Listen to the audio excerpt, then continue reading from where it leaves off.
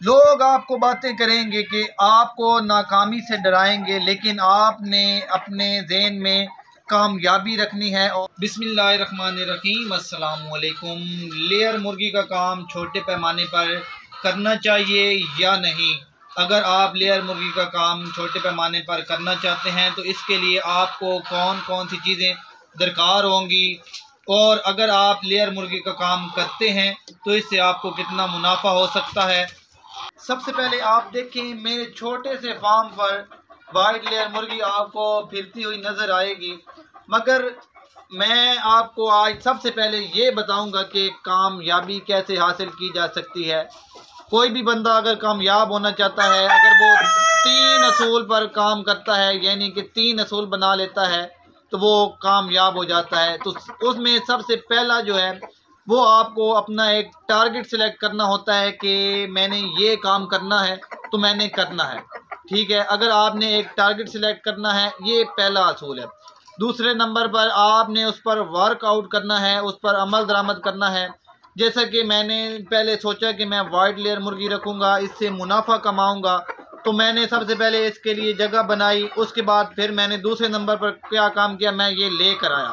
अब जो तीसरे नंबर पर और मेन चीज़ है, वो है आपकी मेहनत।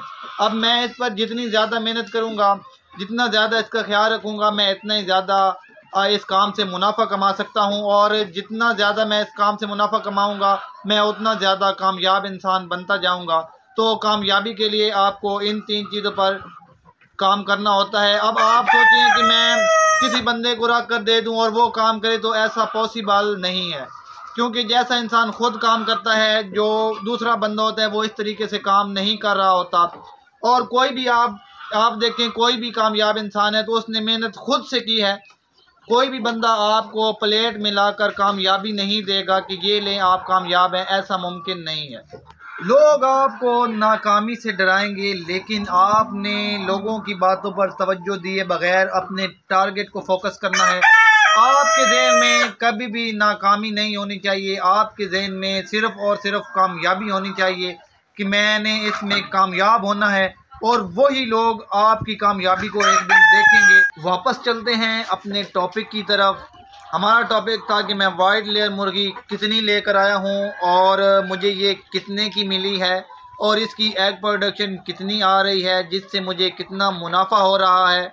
मेरे फार्म पर जो मुर्गी इस वक्त आप देख रहे हैं, कुछ फार्म के बाहर फिर रही है और कुछ फार्म के अंदर फिर रही है। तो मैं अंदर भी आपको लेकर चलता हूँ। आप अंदर से भी देख सकते हैं जो मेरे पास अंदर वाइट लेयर मुर्गी पड़ी है। और टोटल ये पीस 200 है जो मैं लेकर आया हूँ एक बड़े फार्म से। टोटल बाहर और अंदर वाली मुर्गी मिलाकर 200 पीस है जो मैं एक बड़े फार्म से लेकर आया हूँ। ये पर पीस मुझे पाँच सौ रुपये का मिला है। इसको आए हुए तीन दिन हुए हैं और आप देख रहे हैं कि ये बिल्कुल फ्रेश मुर्गी है। और इसकी जो एग प्रोडक्शन आ रही है, वो पचासी परसेंट इसकी एग प्रोडक्शन ये मेरे पास डेली का 170 से 75 अंडा दे रही है। ये देखें, मुर्गियाँ अंडा देने पे बैठी हैं। ये 200 मुर्गी मेरे पास डेली का 170 से 75 अंडा दे रही है। अभी जो इसने प्रोडक्शन दी है 170 अंडा, वो मैं अभी एक दुकानदार को दे कर आया हूँ और उससे मैंने उनतालीस सौ रुपये लिए हैं। वो तेईस रुपए के हिसाब से अंडा मुझसे ले रहा है। तो उनतालीस सौ का मैं इसका अंडा जो है ना वो सेल करके आया हूँ और ये दो सौ मुर्गी है। डेली का जो ये फ़ीड खा रही है वो बीस किलो है।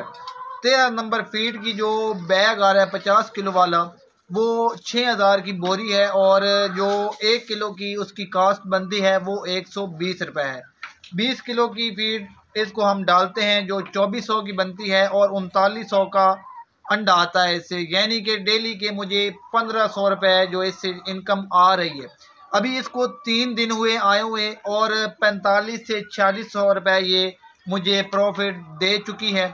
अब इन एक मंथ के अंदर मुझे ये पैंतालीस से पचास हज़ार तक का प्रॉफिट देगी। अभी इसकी प्रोडक्शन एटी फाइव परसेंट है, जबकि इसकी प्रोडक्शन नाइन्टी फाइव परसेंट तक जाती है। अभी मेरी एक ही चीज़ पर फोकस है जिसके लिए मैं मेहनत कर रहा हूँ कि मुझे इसकी प्रोडक्शन को बढ़ाकर 95 परसेंट तक लेकर जाना है। जब ये 95 परसेंट तक जाएगी तो इससे मुझे और ज़्यादा मुनाफा होगा। अब मैं डेली का पैंतालीस एक मंथ का पैंतालीस हज़ार रुपये बना रहा हूँ और मैं एक स्टूडेंट हूँ बी एस मैथ का मैं स्टूडेंट हूँ। अब मैं इसके लिए करता क्या हूँ? मेरी इसमें मेहनत क्या है? मैं ये लेकर आया हूँ, मैं इसको सुबह फ़ीड डालता हूँ और यूनिवर्सिटी चला जाता हूँ। ठीक है यूनिवर्सिटी से वापसी पर मैं इनसे जो है ना वो अंडे की जो कलेक्शन होती है, वो कर लेता हूँ। और शाम को एक बार कलेक्शन करने के बाद मैं अंडा एक शॉप पर ड्रॉप कर देता हूँ, उससे पैसे ले लेता हूँ और शाम को इन्हें फ़ीड और पानी दोबारा से दे देता हूँ। मेरी मेहनत सिर्फ़ और सिर्फ़ इतनी है, जिससे मुझे डेली के पंद्रह सौ रुपये आ रहे हैं। अगर वीडियो अच्छी लगी हो तो वीडियो को लाइक कर दें।